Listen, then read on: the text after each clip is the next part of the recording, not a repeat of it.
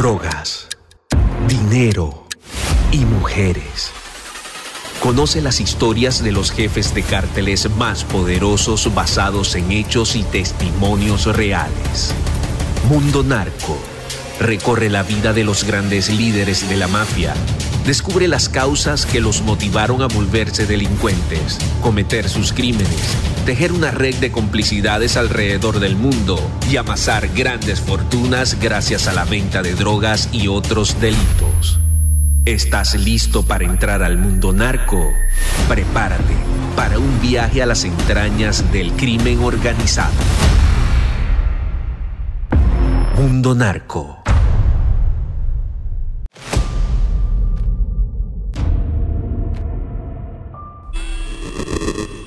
¿Su nombre? Joaquín Guzmán ¿Algún otro nombre? Al Chapo. ¿Su lugar de nacimiento? Tuna, municipio de Araguato. ¿Fecha de nacimiento? 4 de abril del 57. ¿Su edad? 58. ¿Nacionalidad? Mexicano. ¿Estado civil? Casado. ¿Nombre de su esposa? Con la que estoy casado es Alejandrina Salazar. Con la que vivo es con Emma Coronel Puro. ¿Nombre de su papá? Emilio Guzmán Bustillos Finado. ¿Su mamá? Consuelo Luera Pérez, ¿Ocupación de usted? agricultor.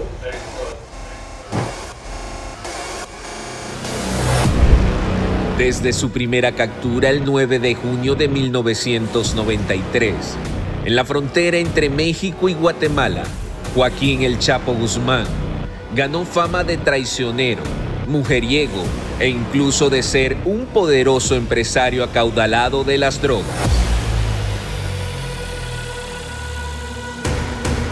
Su historia de vida era hasta ese momento desconocida. Los que trabajaban con él sabían que aquel hombre, de baja estatura, corpulento y con un bigote prominente, era originario de La Tuna en el municipio Badiraguato, Sinaloa. No llevaba una buena relación con su padre. Tenía dos hermanas menores, Bernarda y Armida, y cuatro hermanos menores, Miguel Ángel, Arturo, Emilio y Aureliano, a quien también apodaban el guano. Actualmente, un miembro activo del cartel de Sinaloa. Algunas versiones aseguran que el Chapo tenía tres hermanos mayores que murieron de causas naturales cuando él era joven. El hambre y la pobreza acabaron con ellos. Sus inicios en el mundo del narcotráfico también son inciertos. Algunos expertos creen que su padre, Emilio Guzmán Bustillos, era un campesino que sembraba opio y que fue él quien le enseñó el viejo oficio de sembrar drogas.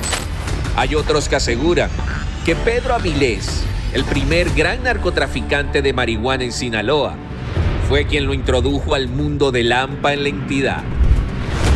Lo cierto es que con el paso de los años, las autoridades no tenían idea que aquel humilde vendedor de naranjas, que escaló a chofer de Miguel Ángel Félix Gallardo, más tarde a mandadero de Armando Carrillo Fuentes, el Señor de los Cielos, y después a pistolero del cartel de Guadalajara, se convertiría en el capo de las drogas más poderoso del mundo, gracias a su liderazgo en el cartel de Sinaloa, una empresa criminal que actualmente opera en 17 de los 31 estados de la República Mexicana y en 50 naciones alrededor del mundo.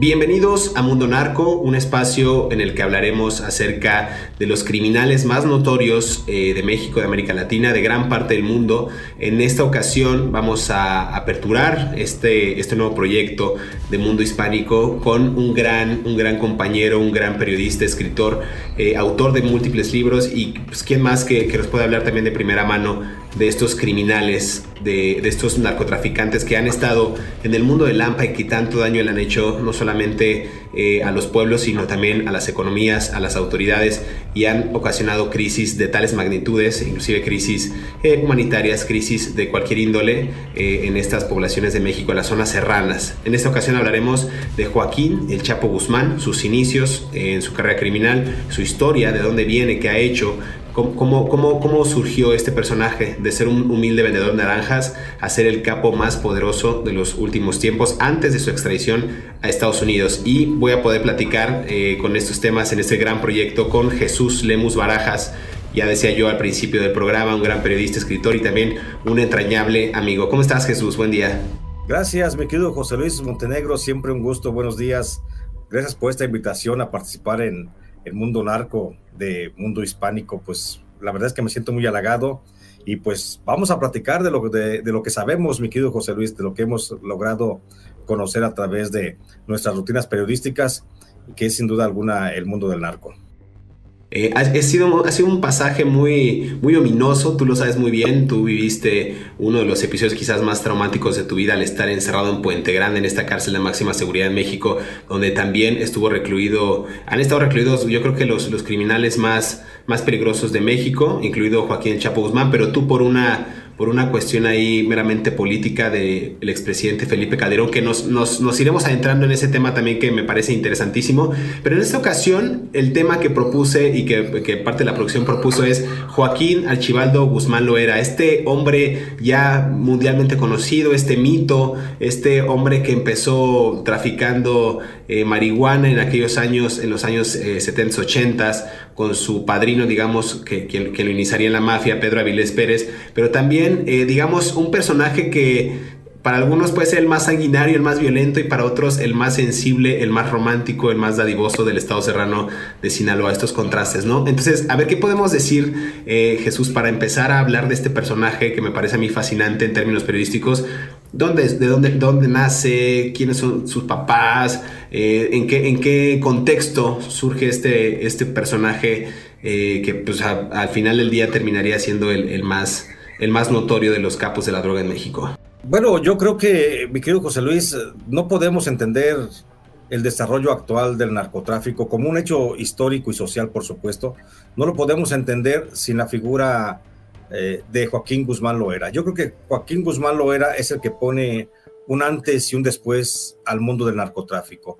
Eh, no, no, creo no equivocarme si nos referimos que Joaquín Guzmán Loera es el que le da un, un dejo de modernidad al narcotráfico y es el que viene a eh, a romper con el viejo mundo de los narcotraficantes que eran un tanto como románticos y pistoleros, allá los de Pedro Avilés, los de Lamberto Quintero, y viene a romper un poquito con ese mundo muy surrealista prácticamente y que veíamos ahí, ahí sí, a los narcotraficantes como una especie de, eh, de figuras muy, muy bien posicionadas en su, en su localidad, para convertirse luego en grandes jefes de empresas criminales totalmente. Creo que Rafa, este, eh, el Chapo Guzmán es el que rompe con esos dos mundos, con ese mundo del, del, narco tradicional para convertirlo en una empresa pues criminal y también una empresa de muy, muy altos eh, vuelos.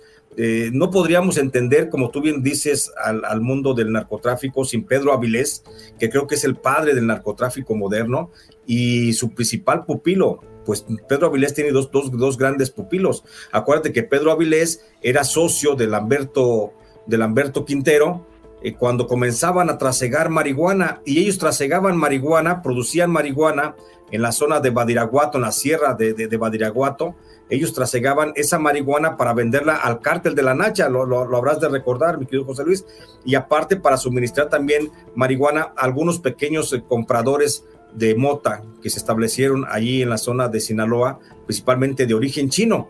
Entonces, Pedro Avilés y Rafael Caro Quintero son los padres, ineludiblemente debemos pensarlo así, son los padres del narcotráfico, porque ellos como, como principales eh, eh, sembradores de marihuana comienzan a contratar la mano de obra pues muy barata y muy urgente que se presentaba en la región de Badiraguato y comienzan a reclutar muchachitos Lamberto Quintero recluta a muchos de sus familiares, entre ellos, por supuesto, Rafael Caro Quintero, y Pedro Avilés. Comienza a reclutar a otros, entre ellos, como tú ya bien decías, aún bien decías, a un muchachito eh, que se dedicaba a la venta de naranjas, que se dedicaba por ahí a cargar canastas en el mercado, que andaba por ahí ayudándole a algunos carniceros a cargar los, los retazos de la carne de un lado a otro dentro del mercado y que así ayudaba a contribuir un poco a la economía, la muy magra economía que tenía en aquel tiempo la familia. Y ese era Joaquín Guzmán Loera que nació justamente en este, en este contexto que bien decías,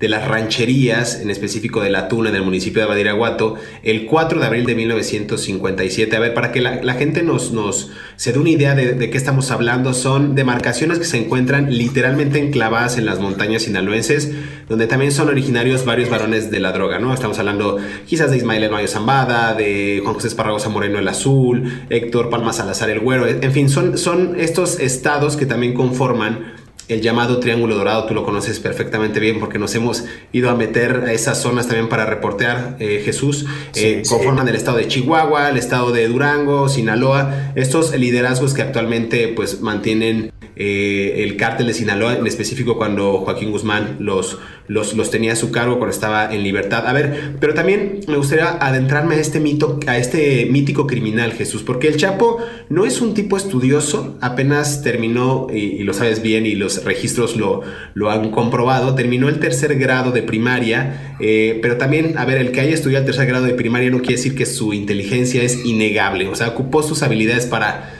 pues para abrirse paso, como bien decías, en el camino de la pobreza y atacarla eh, a su manera, con dos cosas que eran esenciales quizás para la época, dada la pobreza tan, tan, tan penetrada, tan, tan, tan constante, y era las armas y la droga. Quizás aquí valdría la pena regresar a esta frase donde dicen los estudiosos que infancia es destino. Creo que todo estaba dado, bien decías tú, de Pedro Avilés Pérez, la influencia de Lamberto Quintero, la pobreza que existía y era latente en regiones como Badiraguato, en Sinaloa, y además la influencia, y es que nos podríamos llevar 10 capítulos de hablar sobre la influencia de los opioides de los chinos cuando llegan a Sinaloa, porque también es una parte interesante ver cómo se gesta el tráfico de drogas en esos, en esos años, desde los años 50, 60 y ver cómo en, esta, en estos años cuando Joaquín Chapo Guzmán era joven, en los años 60, 70, empieza a adentrarse al mundo del narcotráfico. Entonces, ahí había una máxima también que es de un narcocorrido, que es o eres pobre o criminal en Sinaloa. No hay, no hay más, Jesús. Exactamente, querido José Luis, hay que revisar muy a fondo, como tú dices, infancia es destino y creo que eso es bien fundamental para poder entender la vida de Joaquín Guzmán. Acuérdate que, bueno, Joaquín Guzmán es hijo de Emilio Guzmán Bustillos y de María Consuelo Loera Pérez. Incluso hay, hay como un asunto mítico ahí en torno a su nacimiento. Tú acabas de decir la fecha 4 de abril de 1957 fecha de su nacimiento, pero también hay otra fecha que se dice que es el 25 de diciembre del 54. ¿Por qué tenemos dos fechas de nacimiento de Joaquín Guzmán? Pues por un simple hecho, porque Joaquín Guzmán cuando entra a la cárcel de Puente Grande, que le toman su registro, eh, la primera vez que pisa la cárcel, él da como fecha buena de nacimiento el 4 de abril de 1957. Sin embargo, en Estados Unidos, en el proceso penal que se le abrió y que lo llevó al, al juicio de sentencia que ya todos conocemos, él declaró que tenía que había nacido un 25 de diciembre de 1954. Todavía no sabemos cuál es la realidad. Creo que la más certera, la realidad más certera del nacimiento es la del 4 de abril de 1957. Sin embargo, se manejan dos fechas. Y habría que entender justamente, como dices, aparte de ello, el contexto de cómo es la vida de Joaquín Guzmán, el chiquillo, el niño que ayudaba, eh, porque bueno, ya desde el seno familiar, donde había una, una escasa, bueno, había una gran pobreza, mejor dicho, una gran pobreza, donde la señora María Consuelo Loera Pérez, pues luchaba, luchaba para sacar adelante a los hijos, y el papá Emilio Guzmán Bustillos, pues era un señor que también se dedicaba, eh, se dedicaba la, al cultivo agrícola. Después se comenzó, de los llamados, se comenzó a integrar los grupos llamados de los gomeros, los que cortaban la, sembraban el opio y cortaban la, la, amapola para sacar la goma y procesarla. Y ahí de ese, en ese seno de la familia de María Consuelo Loera Pérez y de Emilio Guzmán Bustillo, pues ahí vienen, ahí surge la, la familia de Joaquín Guzmán. Recordemos que tiene dos hermanas menores, que es Armida y Bernarda. Y después, bueno, tiene hermanos que son Miguel Ángel, Aureliano, el famoso Guano, que es el actual jefe del, del cártel de Sinaloa, Arturo, el famoso Pollo, que fue asesinado en la cárcel de Almoloya, y Emilio son los este, hermanos más chicos. Hay quienes, algunos historiadores le han atribuido que tiene otros tres hermanos mayores, que son del matrimonio de Emilio Guzmán con, con, otra, con otras personas, con otras mujeres. De eso todavía así como no está como muy, muy claro y muy definido. El caso es que eh, Joaquín Guzmán, lo que se puede establecer a la luz de la historia, siempre fue, aun cuando era de los... Eh, eh, de los hermanos, así como más despreocupados pareciera ser o más desentendidos, siempre estuvo al pendiente de las necesidades económicas que había en la familia y él comienza a trabajar desde muy chico. Hay quienes eh, lo recuerdan trabajando a Joaquín Guzmán desde la edad de los seis o siete años, que te digo, ya andaba por ahí en el mercado de ayudante de carnicero, ayudándole por ahí a un señor que le ayudaba a cargar los retazos de la carne de puerco, y luego después de carnicero se empleó también en una eh, florería, frutería que vendía frutas y, flores también, y por ahí el Chapo Guzmán se encargaba de hacer los, las entregas a domicilio, fue uno de los primeros repartidores a domicilio, yo creo que hay. Esto estamos hablando de la, en el municipio de Badiraguato. De Badiraguato, recordemos, como tú ya bien decías, que él nació en la comunidad de La Tuna, pero él comenzó a trabajar básicamente en Badiraguato. Después de ahí, cuando tenía la edad de algunos eh, siete, perdón, 12 años, es cuando es reclutado por Pedro Avilés Pérez, porque fue cuando se dio el boom del crecimiento de la, de la, de las zonas de cultivo de marihuana. Y Pedro Avilés Pérez, junto con Lamberto, Lamberto Quintero, pues tenían el control prácticamente de aquella región de, la siembra. Y uno de los encargados de, esa, de esas siembras agrícolas era uno de los sobrinos de Lamberto Quintero, que es Rafael Caro Quintero. Rafael Caro Quintero fue el que comenzaba a reclutar muchachos y él fue el que aceptó la propuesta de Pedro Aviles Pérez para que le ayudara, un muchachillo, le ayudara a cuidar algunos cultivos de marihuana y ese muchachillo era precisamente el Chapo Guzmán. Jesús, vamos a ir a una pausa para seguir hablando acerca de Joaquín el Chapo Guzmán. Me parece muy interesante adentrarnos en estos secretos de la mafia, conocer al personaje, conocer de dónde viene, qué hizo y cuáles fueron las motivaciones justo que lo orillaron a convertirse en el criminal más, eh, más, más sanguinario e inclusive el enemigo público número uno de Estados Unidos eh, hace unos años antes de su extradición hacia territorio norteamericano. Volvemos, estamos aquí en Mundo Narco, conversando acerca de Joaquín el Chapo Guzmán Jesús Lemus. Soy José Luis Montenegro. Regresamos.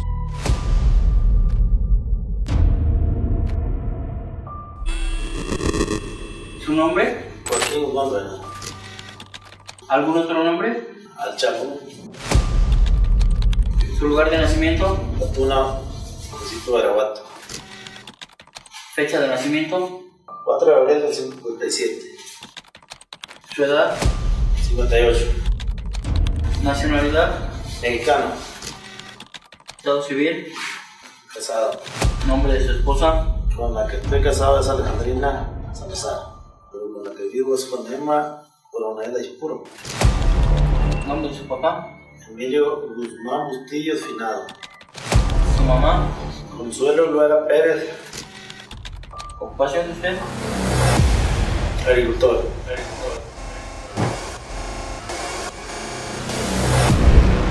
Desde su primera captura el 9 de junio de 1993.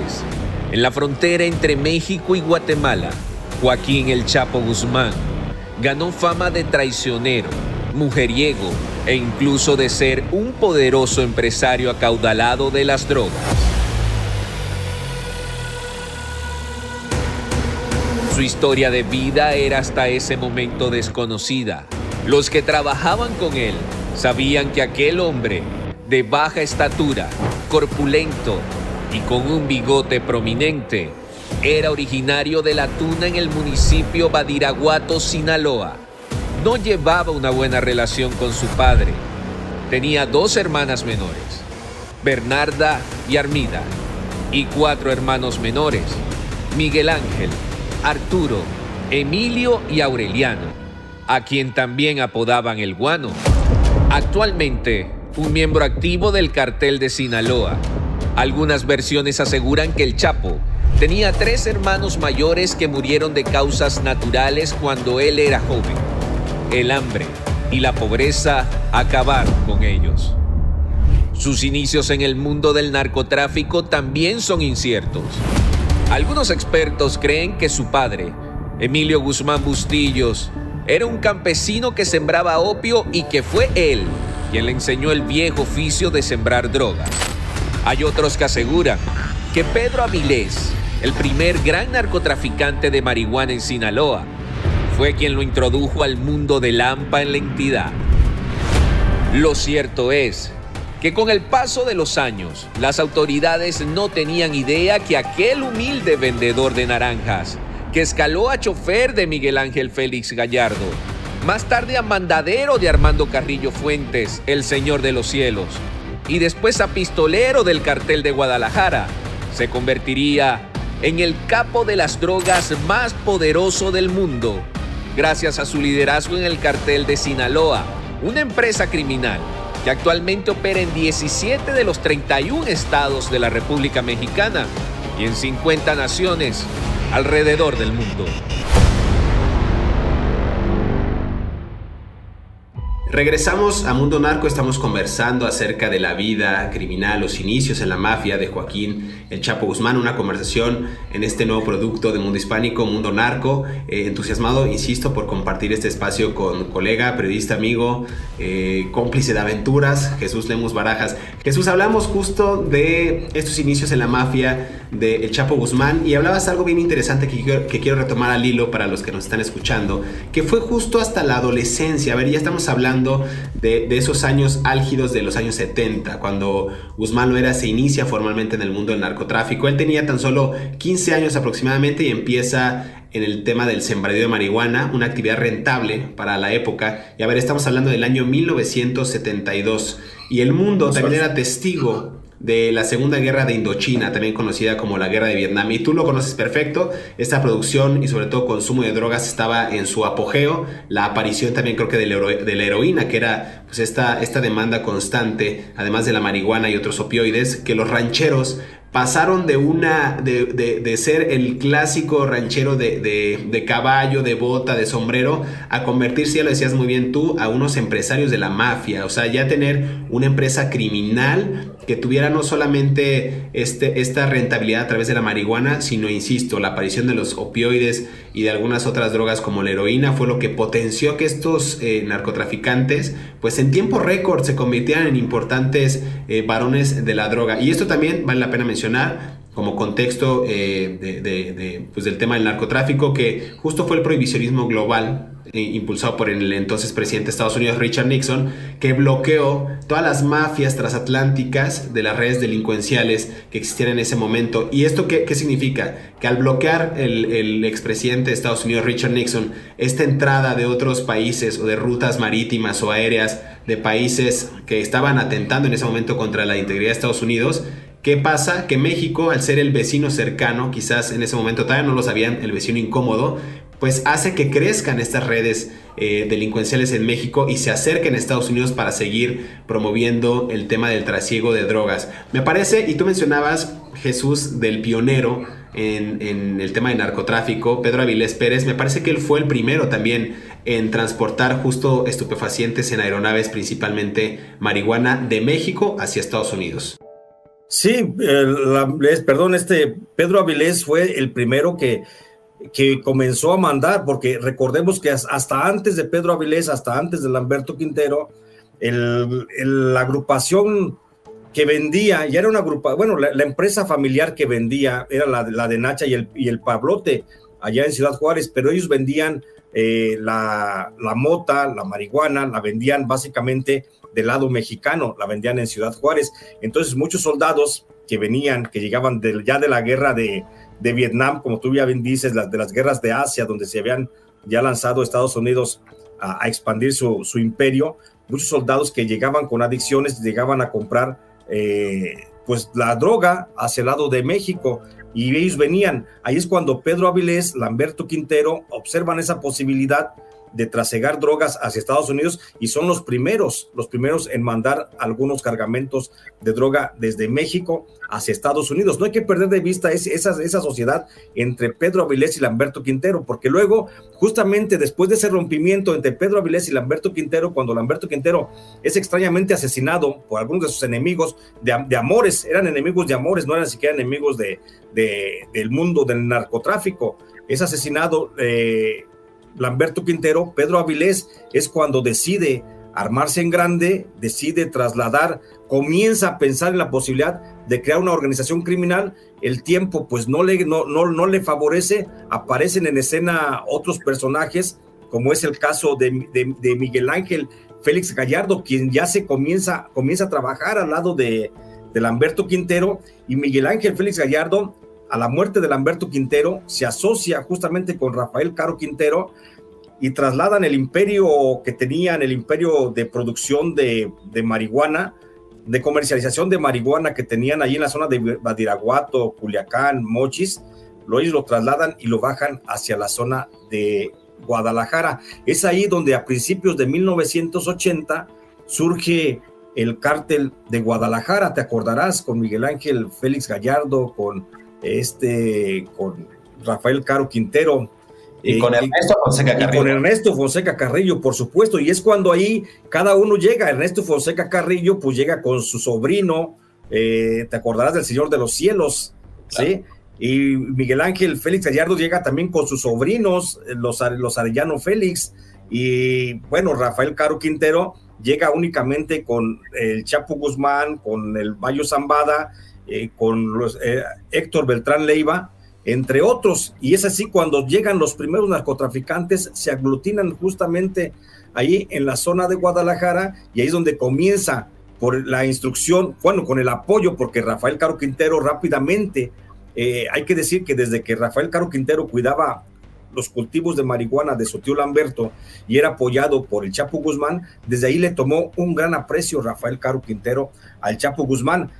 El Chapo Guzmán, como tú decías, con una escasa preparación académica, porque nada más fue hasta el tercer año de, primaria, porque lo dejó para dedicarse justamente al narcotráfico, pues con su escasa preparación este, primaria, tiene aún así una habilidad mental muy, muy grande y muy buena para los negocios, de tal forma que el Chapo Guzmán se convierte en un gran asesor, en un gran consejero para Rafael Caro Quintero, y desde ahí Rafael Caro Quintero lo comienza a asumir como el segundo amando que esto luego, cuando platiquemos del cártel de, Guadalajara, por supuesto, cuando comencemos a desentrañar el cártel de Guadalajara, vamos a ver cómo es que influye el, el Chapo Guzmán en esas decisiones que toma Rafael Caro Quintero para desmembrar el cártel de Guadalajara y que nazcan así el cártel de los Arellano, el cártel de Juárez, el cártel de Sinaloa, que, que el cártel de incluso de Nacho Coronel. Entonces ya lo platicaremos, por supuesto, esto, pero por supuesto que ahí, en ese, en ese andar de las cosas, y ya con eso termino para no arrebatarte la palabra ni, ni, hacerme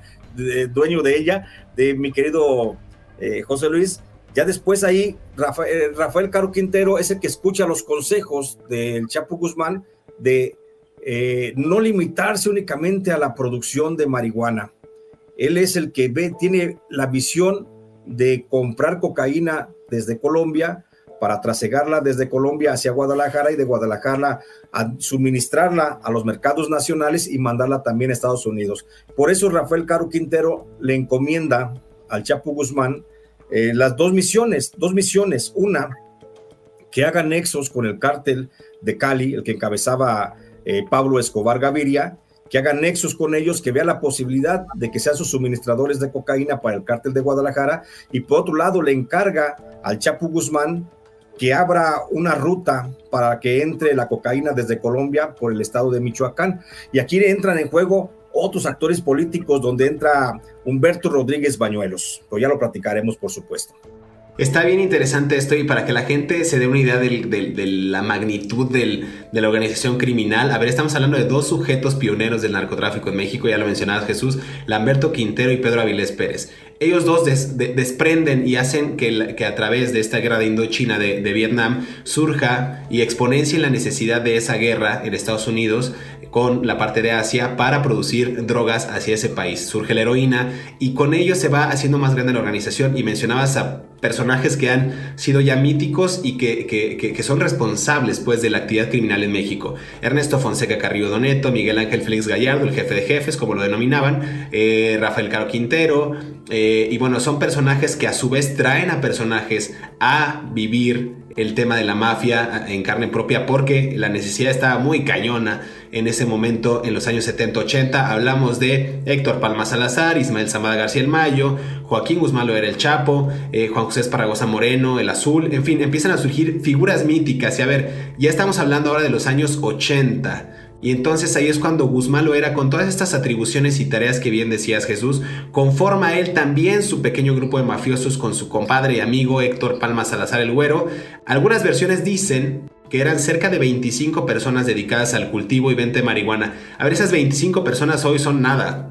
Un grupo de pelados que quisiera tener una mafia en Sinaloa o en Durango, eh, actualmente en Guanajuato, sin hacer apología al delito, lo puede hacer eh, fácil. O sea, esto ya es, estamos hablando que en ese momento 25 eh, tipos que quisieran dedicarse a la mafia en los años 80 era un gran grupo. Y ellos lo hacen, y vamos a retomar ese camino que bien decías, Jesús, lo hacen para qué? Pues para distribuir cocaína y con la visión del Chapo de traficar eh, cocaína proveniente de Colombia hacia Estados Unidos con el apoyo de quién, de nada más y nada menos que de este personaje también mítico de Colombia, Pablo Escobar Gaviria, que había amasado ya grandes fortunas gracias a esto, que era la fabricación y exportación de cocaína y lo hacía a través de qué? De, pues a través de México y a través de eh, aviones, de cargamentos, de buques, de esta forma tan peculiar y creativa de enviarlo, que hablaremos también más adelante del cártel de Sinaloa, en latas de chiles, en plátanos, en electrodomésticos, hacia Estados Unidos, en estas regiones. Y a ver, era bastante interesante porque estamos hablando de una alianza del cártel de Guadalajara con el cártel de Cali y el cártel de Medellín, que era más que evidente que hacían actos terroristas eh, eh, eh, en, Colombia, por ejemplo, la toma de regiones enteras, actos también solidarios hacia la gente, como lo hacía también el, cártel de, de, Guadalajara y lo seguiría haciendo el cártel de Sinaloa. Es decir, tenían más similitudes que diferencias estas dos organizaciones. Y esto habla también quizás de una constante, Jesús, no sé si tú estés de acuerdo con ello, de que muchas de las regiones de América Latina tienen, eh, como decía Eduardo Galeano, las venas abiertas, ¿no? Este escritor. Eh, tienen pobreza, tienen gobiernos corruptos, tienen deficiencias en sistemas de salud, poca educación o, educación de nivel muy baja, y eran quizás estas aristas o estos puntos álgidos en los que eh, se, se, aprovechó, digamos, la mafia para cooptar y para también traficar este tipo de drogas eh, a sabiendas de que no había otra actividad en las zonas serranas más que el ilícito, ¿no? Más que el tema del crimen. Y creo que prevalece hasta hoy día en regiones muy alejadas del país en donde las autoridades y los gobiernos pues no han hecho prácticamente nada por acabar con este, con este cáncer. Antes de irnos a, esta segunda pausa, eh, Jesús, algo que quieras agregar acerca de, este episodio de, Mundo Narco, de este, de este andar que hemos estado comentando. Pues la verdad es que es, bien interesante. Creo que el, proyecto de para platicarle a la gente, contarle la historia verdadera del narco, no la que van a encontrar en chismes o la que alguien dice, dice que lo, que lo escuchó, pues no, mi querido José Luis, creo que aquí estamos hablando de historia de fuente directa, tanto tú como yo hemos tenido posibilidad de estar platicando con grandes narcotraficantes sin hacer apología, por supuesto, del delito, que además eso es una, es una falacia la apología. ¿eh? La historia se cuenta como se tiene que contar para que se pueda entender. lo hemos platicado, algunos de esos pasajes que estoy refiriendo, por supuesto que los escuché en alguna ocasión, que fueron vertidos directamente, pues nada más y nada menos que de Rafael Caro Quintero, cuando me tocó estar en la cárcel, ahorita tú ya referías eh, mi paso por la prisión. Yo estuve en la prisión de Puente Grande del 2008 al 2011, tres años, cinco días, acusado falsamente de ser miembro del narcotráfico, esto en el gobierno de, de Felipe Calderón, cuando después de que me atreví a señalar las relaciones de narcotráfico que tenía la hermana de Felipe Calderón, Luisa María Calderón Hinojosa, conservando Gómez Martínez Latuta, el jefe del cártel de la familia michoacana.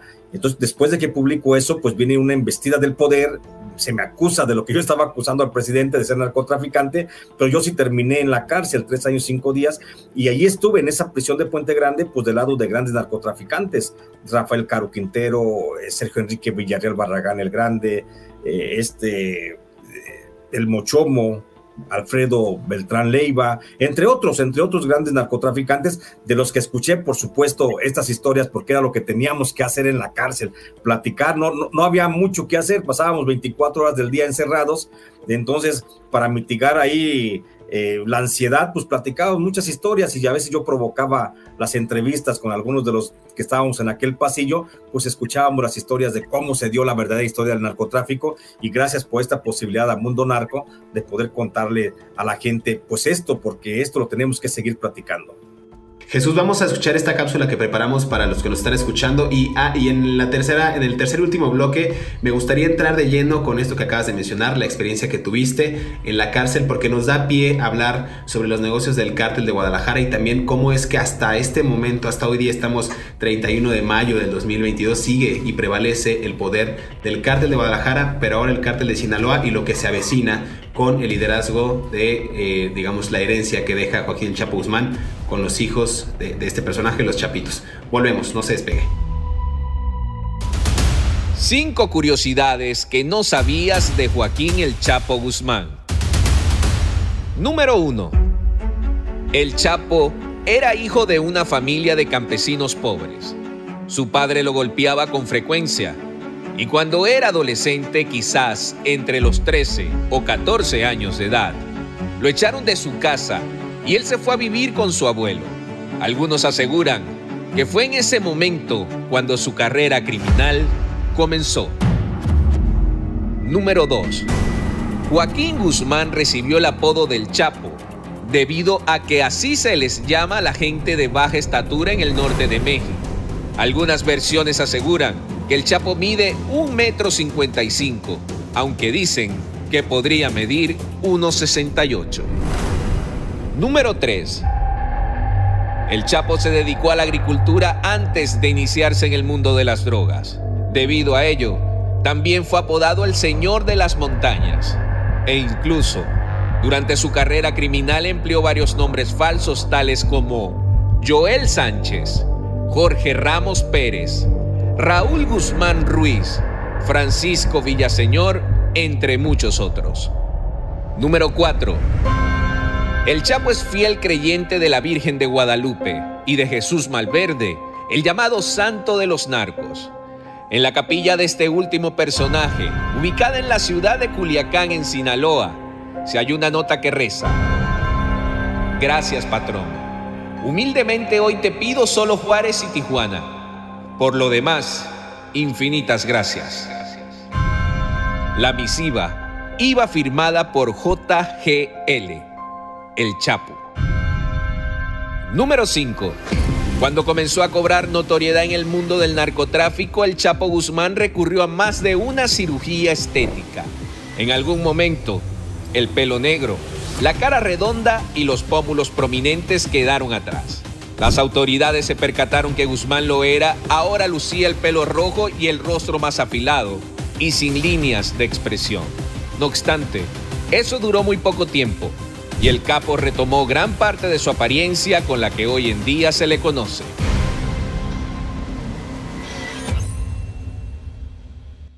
Regresamos a Mundo Narco, estamos conversando acerca de Joaquín Chapo Guzmán, su vida, sus inicios en la mafia, y hemos hablado acerca del contexto también económico, político y social que circundó, que arropó, digamos, y que provocó también y auspició que las actividades criminales del cártel de Guadalajara después se convertía en el cártel de Sinaloa y que todos estos personajes de los que hemos hablado, de Lamberto Quintero, de Pedro Avilés Pérez, de Miguel Ángel Félix Gallardo, de Ernesto Fonseca Carrillo, de Rafael Caro Quintero, de Joaquín Chapo Guzmán, del Mayo Zambado, todos están amparados por esta actividad criminal. Pero antes de continuar con la historia, yo, yo, yo le comentaba a mi, a mi colega amigo eh, Jesús Lemus que justo para saber la entraña y conocer el tema del narcotráfico en México hay que vivirlo en carne propia. No hay periodista de investigación o no hay reportero de investigación que se jacte de serlo si está detrás de una computadora, nada más eh, detrás de, una, de, un, de un portal de noticias o de un Wikipedia extrayendo datos. Tienes que vivirlo, tienes que gozarlo, tienes que sufrirlo lamentablemente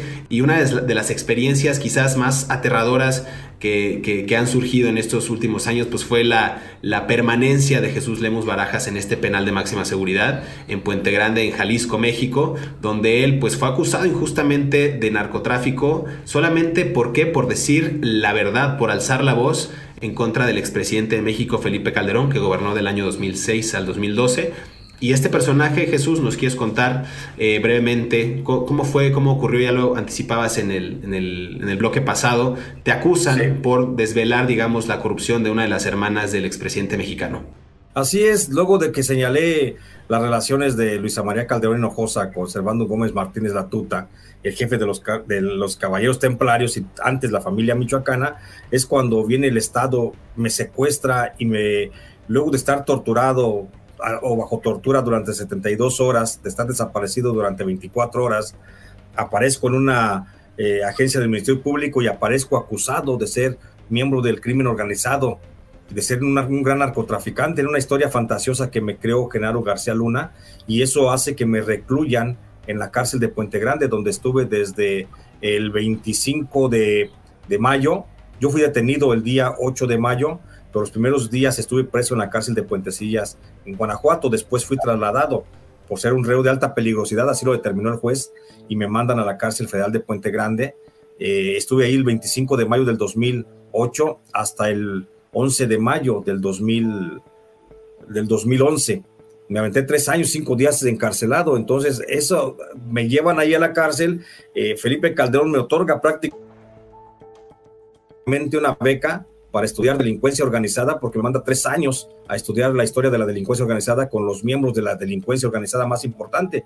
Me asignan a un pabellón en el que estaba Rafael Caro Quintero, el Mocho Orejas, eh, Alfredo Beltrán Leiva, el Mochomo, eh, Mario Aburto, una, Sergio Enrique Villarreal Barragán el Grande, eh, una serie de, de, personajes mediáticos de la criminalidad. Y ahí es donde voy conociendo estas historias del narcotráfico y estas historias me las pasé pues preguntándolas, investigándolas, platicándolas con los reos más peligrosos, ahí en aquella cárcel de segregación, en aquella cárcel de exterminio de Puente Grande, porque estábamos 24 horas encerrados en las de nuestras celdas y pues platicábamos de celda a celda y yo no tenía otra cosa más que la palabra y con la pura palabra comencé a preguntar, a preguntar y fue donde fui recabando estas historias que hoy les platico.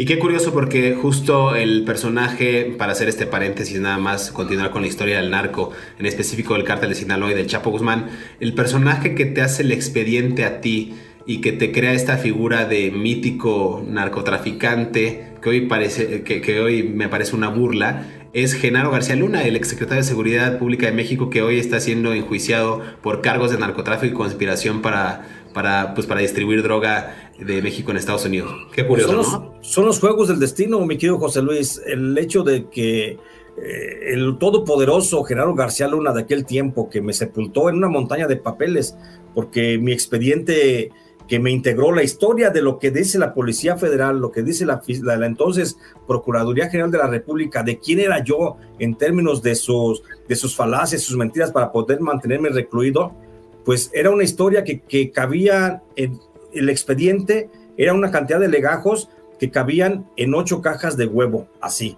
Ocho cajas de huevo de ese tamaño tuvieron que hacer una historia. Si hubiera sido una novela fantástica, ni ninguna editorial se las publican por, por la extensión simplemente de, de, la, de la narración de los hechos, pero fueron ocho cajas de huevo las que cabía, en las que cabía mi expediente y ahí así con esa, ese grado de criminalidad me mandan a la cárcel. El autor de todo esto, te digo como un juego de destino fue Genaro García Luna, fue el que me, sepultó en la cárcel con una tonelada de papeles ahí encima y, en lo que me desempapelaba y en lo que yo tenía que demostrar que yo no era responsable de nada cuando ellos ni siquiera presentaron una sola prueba, que hubieran presentado una llamada telefónica, una cuenta bancaria, una fotografía, un video, algo todo eran dichos y dichos y dichos y dichos de testigos y de testigos que nunca estuvieron donde yo estuve. Y bajo esa acusación, ahí estuve. Y mira, hoy Genaro García Luna está justamente a la espera de un juicio allá en Nueva York, que estaremos por allá pronto, mi querido José Luis, por supuesto, haciendo la cobertura de, ese, juicio del siglo, porque hay que recordarle a la gente que ahí va a haber grandes, grandes declarantes como el exfiscal de Nayarit, Edgar Beitia, que seguramente va a sepultar a, este señor, a Genaro García Luna, y hay otros, otros muchos más que ya están apuntados en la lista. Hablan las del gobierno de Estados Unidos, bueno, los encargados del proceso, hablan de por lo menos 17 testigos de peso los que podría enfrentar el propio Genaro García Luna y que seguramente lo van a refundir en la cárcel si es que Genaro García Luna no llega a una negociación antes con la Fiscalía de Estados Unidos y ofrece como garantía de su salvación la cabeza, digo en términos policíacos, en términos de justicia, la cabeza del, del expresidente Felipe Calderón. Un gran episodio, un gran episodio que, que, ya veremos si se gesta o no, que es uno también de las tensiones que ha estado pujante en, aquí, aquí en México. Eh, Jesús, vamos a regresar después de este gran paréntesis delicioso, términos periodísticos, eh, de los negocios, justamente el cártel de Guadalajara. Y mencionabas algo, y no, quiero, y no quiero que sonemos contradictorios o que nos estamos yendo de polo a polo, pero justo hablabas de estas complicidades gubernamentales, de que hablas de estos pactos, de estos tejes y manejes que tú sufriste en carne propia, de cómo se usa o cómo se usaba la justicia en México. En ese entonces, estamos hablando de la década de los 80, ya finales de la década de los 80, no existían graves expresiones de la violencia como las conocemos hoy. A ver, no había tiroteos, no había matanzas o personas descuartizadas en la calle. Sí había violencia, pero no a los niveles que conocemos hoy. O sea, todo parecía ir viento en popa. El cártel de Guadalajara, gracias a estas conexiones que ya se habían gestado, del Señor de los Cielos, recordemos a Amado Carrillo Fuentes, con el cártel de Medellín, Pablo Escobar, logran afianzar esta relación de negocios fructífera gracias al polvo blanco, a la cocaína. Y la ecuación era muy sencilla, Jesús tú lo sabes perfecto. El cártel de Guadalajara le compraba cocaína al cártel de Medellín y luego lo contrabandeaba a Estados Unidos. Esto era eh, pues prácticamente un negocio redondo. Y según estimaciones de las agencias eh, de inteligencia mexicanas, el jefe de jefe, estamos hablando de Miguel Ángel Félix Gallardo, el Señor de los Cielos, Amado Carrillo Fuentes, incluso el Chapo Guzmán, lograron traficar el 80% de la cocaína que se hacía en Colombia en aquellos años. Y recordarás que al Chapo Guzmán, entre otros apodos como el Chapito, el, el, Chaparrito, lo que sea, también le decían el rápido, porque decían que él era muy rápido para mover la droga de Colombia hacia México y de México hacia Estados Unidos. Para los que no sepan y nos estén escuchando en otros países, el apodo o la acepción de El Chapo se refiere a una persona de estatura baja. Es como eh, el chaparrito, el bajito, el Chapo. Es como se ocupa en las zonas norteñas, en las zonas serranas de aquí de México. Pero a ver, esto para ir cerrando este episodio que nos va a dar para 10, 15, 20, 30 más. Eh, en el año 1985, Jesús, tú sabes qué pasó cuando se fractura el cártel de Guadalajara. Estamos hablando del asesinato de la, gente, de, la de la DEA, de la Agencia Antidrogas de Estados Unidos, Enrique Camarena Salazar, mejor conocido como el Kiki. Quizás ese es un punto de quiebre muy, muy fuerte para la organización, porque quizás llama la atención y pone los ojos de todas las organizaciones de seguridad del mundo y sobre todo de Estados Unidos en el cártel de Guadalajara. Asesinan al agente de la DEA, que ahí hay versiones encontradas, decían que trabajaba como doble agente, que quizás sí pertenecía al cártel de Guadalajara, no sabemos, es como un mito que también eh, circunda por el tema del narcotráfico, pero es ahí cuando también empieza la debilidad y se empieza a fragmentar y se empieza ya a diseccionar el cártel de Guadalajara como lo conocíamos, como organización única del narcotráfico en México. Yo creo que hay, hay dos, dos factores, mi querido José Luis Montenegro, hay dos factores que hacen que se fracture el cártel de Guadalajara como, como organismo hegemónico en el trasiego de drogas. Tú lo acabas de señalar puntualmente. Eh, Rafael Caro Quintero le encomendó a, al Chapo Guzmán que la comercialización de cocaína desde Colombia hacia México para trasegarla posteriormente a Estados Unidos. Y esto Chapo Guzmán lo hizo con los, con, los hombres, hombres de su confianza. Estamos hablando de dos, bueno, de tres básicamente. Estamos hablando de el Mayo Zambada, que ya estaba ahí con el, con el Chapo Guzmán. Estamos hablando de Héctor El Güero Palma, su compadre. Y estamos hablando de otro compadre que seguramente también nos va a dar un, un tema para un gran episodio del que tendrán, tenemos que hablar, que es Armando López, el famoso Rayo de Jalisco. Entonces, con estos tres elementos que él tenía como sus, sus verdaderos escuderos, logra trasegar, eh, cumplir con la tarea de llevar cocaína desde Colombia para México y luego a Estados Unidos.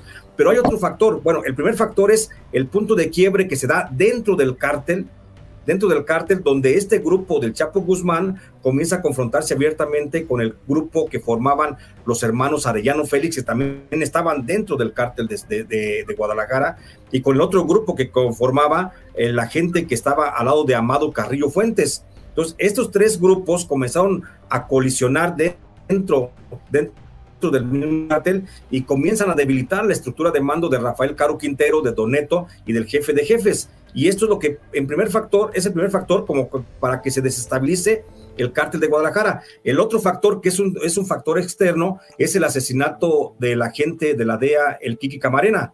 Kiki Camarena y el piloto de apellido Salazar. Eh, piloto mexicano, los, los, dos que son asesinados porque eran agentes de la DEA. Sobre este caso en particular, quiero, quiero abordar el, asesinato de Kiki Camarena, del que tuvo siempre conocimiento de que estaba operando y cómo estaba operando. Siempre tuvo conocimiento el agente, el secretario de gobernación de aquel tiempo, te habrás de recordar, hoy gran prominente miembro de la Cuarta Transformación, Manuel Bartre Díaz. ¿sí? Nomás para que no se nos olvide y para que vean cómo desde entonces ya había esa, esa, esa colusión, porque la relación quien estaba verdaderamente protegiendo al cártel de Sinaloa hacia 1985, pues era justamente eh, el propio Manuel Bartlett Díaz, era el protector de Rafael Caro Quintero de aquel tiempo. Él era el que tenía a la Dirección Federal de Seguridad del gobierno federal a disposición de Rafael Caro Quintero. La presencia de Kiki Camarena dentro de infiltrándose a la organización criminal es una acción aislada que toma un grupo de integrantes, miembros de la DEA, y, la, y, los, lo infiltran a tal grado que conoce toda la estructura. Y lo que descubre Kiki Camarena, que lo lleva finalmente a ser asesinado, no por Rafael Caro Quintero, porque a Kiki Camarena hay que decirlo, no lo asesinó Rafael Caro Quintero, a Kiki Camarena lo asesinó un agente de la CIA que se llama Félix Rodríguez. ¿Sí? Félix Rodríguez es el verdadero asesino de Kiki Camarena. Entonces, no hay de ahí ninguna relación. ¿Cuál fue la causa por la que asesinan a Kiki Camarena? Porque Kiki Camarena descubrió cómo la CIA estaba negociando con el cártel de, Guadalajara, de Rafael Caro Quintero, estaba negociando el suministro de armas y de drogas eh, para financiar la revolución que se estaba dando en Centroamérica de este de los de los contrarrevolucionarios que estaban en el frente contra el frente de Farabundo Martí de Liberación Nacional y contra el frente eh, de sandinista, el frente sandinista de Liberación Nacional, unos en El Salvador, otros en Nicaragua. Lo que la CIA estaba haciendo era entregarle al cártel de Guadalajara armas a cambio de, de, cocaína, con la que ellos traficaban cocaína hacia los grupos contrarrevolucionarios de Centroamérica y los grupos contrarrevolucionarios de Centroamérica, pero les ayudaban, les ayudaban ahí a, hacer la revolución en ese país. Eso, eso fue lo que descubrió realmente Kiki Camarena. Kiki Camarena descubre un campo de entrenamiento que le dispuso o que le pidió la CIA al cártel de Guadalajara que estaba en Veracruz. Eso fue lo que descubrió Kiki Camarena, que en ese campo de entrenamiento de Veracruz estaban siendo entrenados agentes contrarrevolucionarios de Nicaragua y de El Salvador.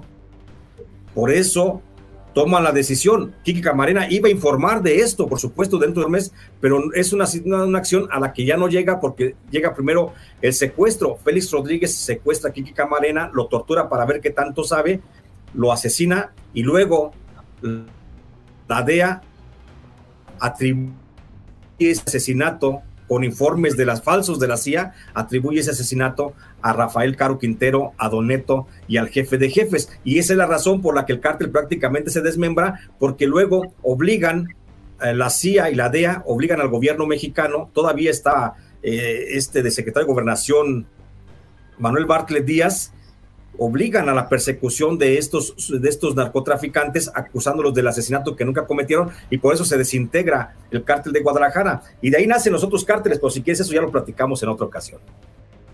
Mira, está buenísimo, se nos está acabando el tiempo, pero nada más para finalizar y para dar pie al próximo episodio para que no se lo pierdan de Mundo Narco, justo decías tú de las aprehensiones, Ernesto Fonseca Carrillo, Miguel Ángel Félix Gallardo y Rafael Caro Quintero. Tres de los grandes capos de la droga que estaban teniendo ya su máximo apogeo y habían amasado grandes fortunas con la venta de marihuana, de cocaína y de otros, de otros estupefacientes, los capturan. Y aquí hay algo bien interesante del que podremos, un tema muy interesante del que podremos abordar en los siguientes episodios. Guillermo González Calderón, y tú lo recuerdas perfecto, jefe de la Policía Antinarcóticos, este personaje organiza esta cumbre de narcos o sea, él reparte el territorio gracias a la venia y al convenio que tenía el entonces gobierno de Carlos Salinas de Gortari, el expresidente de México. Reparten el territorio a estas nuevas organizaciones criminales que bien decías, Jesús. A la familia Arellano le asigna Tijuana, eh, Tecate, en Baja California. A Chapo Guzmán le da San Luis Río Colorado, eh, en Sonora al Güero Palma le da Nogales, Hermosillo, en fin, se empieza a diseccionar como si fuera un gran pedazo de pastel la República Mexicana, imagina usted. El gobierno de México empieza a asignar territorios para que cada uno opere, trafique, comercialice, siembre la droga que se le plazca, obviamente, evidentemente con el beneplácito del gobierno mexicano y también pues con una módica cantidad, con una especie de renta para que sea rentable justamente el negocio del narcotráfico en México. Veremos es que se nos está acabando el tiempo, pero vamos a ver cómo influyó en los próximos episodios, yo lo digo muy bien, el Tratado de Libre Comercio América del Norte, la globalización, la entrada de otros, de otros países, incluido el tema de la tecnología, que apertura, digamos, estas fronteras y capitaliza el negocio de las drogas ya a mayor escala, con nuevas rutas, con diferentes vías de acceso. Jesús, tenemos muchos episodios todavía que nos, que nos sobran, pero quiero, cerrar justo con eso, con, con, con, que el narcotráfico es, es, es, es tan complejo es tan exquisito hablar de él en términos periodísticos, en términos analíticos, porque es, es un entramado que ha implicado durante muchas décadas la participación directa e indirecta de los gobiernos, las carencias de los estados, las guerras, hablabas tú de la contra nicaragüense, cómo es que se gesta por parte de Estados Unidos una alianza con cárteles de la droga para hacer movimientos subversivos que desestabilicen economías para ellos salir al quite. Entonces es, es muy complejo, la gente piensa que es la persona que vende o hace narcomenudeo en la esquina, esto trae un interés mayor, es un interés global, eh, del cual hablaremos en, los próximos episodios de Mundo Narco, estos secretos de la mafia que iremos desvelando. Jesús, fue un placer platicar contigo, es un deleite, vamos a ir explicándole a la gente, como bien decías, la realidad, la verdadera verdad, decía Carlos Fuentes en sus libros, porque de eso se trata, de hablar con, con ahora sí con todos los pelos de la burra en la mano y tal cual. Sin, no, no, no, es, no es el tema de hacer apología, sino el tema de que se hablan las cosas como se tienen que hablar para que la gente llegue a la verdad misma, Jesús. Así es, mi querido José Luis Montenegro, pues yo agradecido por esta posibilidad de participar, de, de, de hacer, de hacer recapitulación de la historia, de esta historia del narcotráfico, alejado de todos, de todos los intereses editoriales incluso, ¿eh? Y es nada como platicarlo así como debe de ser y, para poder ir desvelando muchos nombres, muchos personajes míticos, por ejemplo, ahorita hablabas de cuando se reparten, se, secciona el cártel de Guadalajara y se reparten como si fuera un gran pastel, donde por supuesto fue un actor principal Guillermo González Calderoni y donde por supuesto no puede estar tampoco alejada la figura de un personaje icónico como fue Fernando Gutiérrez, eh, Fernando Gutiérrez Barrios, que también estuvo ahí, que fue secretario de gobernación de Carlos Salinas de Gortari y también tuvo mucho que ver en este entramado. También hay que platicarlo en una, en una eh, emisión próxima, cómo fue que el primer, el primer fiscal, el primer anti, el fiscal antinarco en México que tuvo fue el actual fiscal general de la República, el señor Alejandro Gers Manero, 1976. La CIA lo designa a Alejandro Gers Manero, que en aquel tiempo era un incipiente agente del Ministerio Público de la federación, ya lo designaba en la Operación Cóndor como primer encargado del operativo de combate al narcotráfico. Y cómo desde ahí viene mucha, mucha de la, de la fractura social que tenemos hoy en día y que siempre estamos responsabilizando a veces nada más a las a dos administraciones inmediatas, la, las fallidas de Felipe Calderón y de Enrique Peña Nieto, pero que si nos vamos y somos justos con la historia, digo, no por exonerar, yo soy el último que defendería, por supuesto, a Felipe Calderón, pero si vamos a ser justos con la historia, hay que ir revisando desde Miguel de la Madrid, desde, desde atrás, desde José López Portillo, desde Echeverría, cómo desde allá viene el fracaso institucionalizado del gobierno entonces, más que un, partido revolucionario institucional, fue un fracaso institucionalizado y eso hay que platicarlo porque, como dices tú, es bien complejo y tenemos que ver muchas aristas sociales, económicas, políticas, de violencia, de los cárteles, todo para ir desentrañando este mundo narco. Te agradezco mucho, mi querido José Luis, estoy a tus órdenes siempre. Muchas gracias Jesús. Eh, nos escuchamos en el próximo episodio de Mundo Narco. No olviden que vamos a hablar en los próximos episodios de la carrera criminal de Joaquín El Chapo Guzmán. Vamos a hablar también de otros personajes eh, que estuvieron involucrados con él y que, y que nos van a dar cuenta con testimonio real de personas que están vivas acerca de cuáles fueron las complicidades, quiénes fueron los socios. Hablaremos de la familia, de las mujeres. En fin, tenemos mucha tela de dónde cortar. Muchas gracias Jesús. Nos escuchamos en el próximo episodio de Mundo Narco.